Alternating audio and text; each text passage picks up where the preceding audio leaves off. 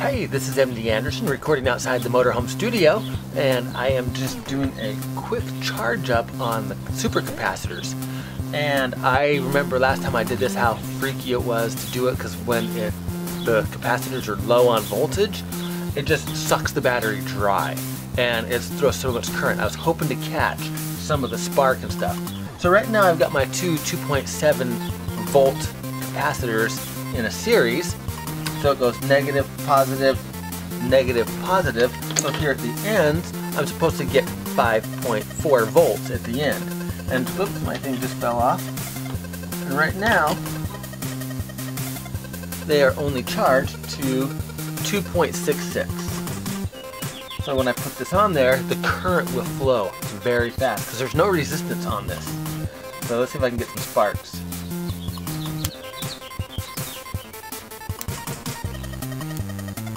Wires are getting hot. I don't know if you can see it, but it melted the lead right here. Really good. And it went up to 2.77 volts. Ooh, warm. Every time I put it on there, I get new scratch marks. It's kind of cool. That's definitely not good on the battery. But um, that pumped it up to 2.88 volts.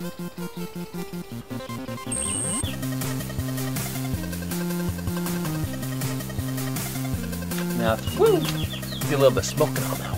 Awesome. But that jumped it to 3.01 volts. Ooh, can probably see it sizzle. It's kind of fun. Alright, let's, let's do it again.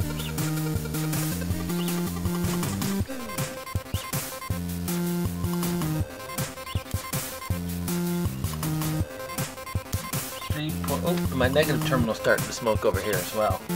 Uh, 3.17, 3.18 volts, get a little higher. I'm gonna have to give it a chance to uh, cool down a little bit. My fingers don't like that temperature as much. Um, but, so obviously to charge the things, I won't be able to um, charge it very well. So my goal with the Fiero is to have these up to 12 volts, but every time I add these together, it cuts the farads in half. So basically, I've only got 1500 farads worth of capacity because it's pushing more joules at the same time. At least that's the theory I know. If you know more of the math on it, hey, you know, write a comment below and let me know. Um, so I have these heat sinks from an old computer that I had. It was an old server uh, chassis mount. It had two CPUs on it.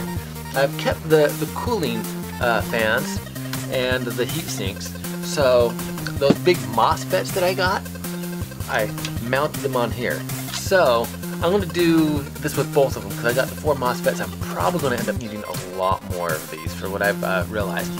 Um, so if I pulse in the, the voltage, it will charge these. So I'll be able to use the Arduino to do that. As well, since I'm using the capacitors, I don't want to be buying a couple hundred of these just to get it up to 120 volts. So, um, using the Arduino, I'm going to be able to use more MOSFETs and pulsate an alternating current because I can take 12 volts and up it into 120 volts, which I did on the uh, uh, the big power inverter that I have. But the power inverter is showing me to have problems that it um, has limitations such as safeguard protections and it keeps a little buzzer going off every time I draw way too much amperage. But right now I don't want the safeguard, so I'm going to build my own AC uh, unit uh, from DC to AC inverter. And I'll be using the Arduino and these as well. So uh, there's an update for now, and I hope everybody continues to have another great week.